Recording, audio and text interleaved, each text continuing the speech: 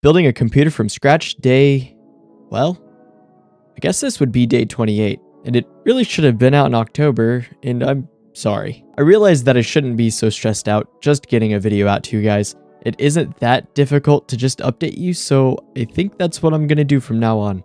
So, let's get to that update. First of all, my CPU is indeed under construction. I've been working on it for a while, but about three weeks ago, I decided that I need to take a breath and make something fun, and then just come back to it. That is what this is.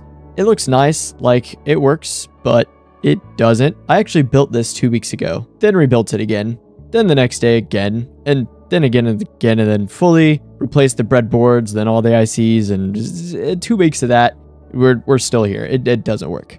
So I guess my next course of action is to make a new schematic for this, rework all the logic. But I guess that's what the new reel will be about.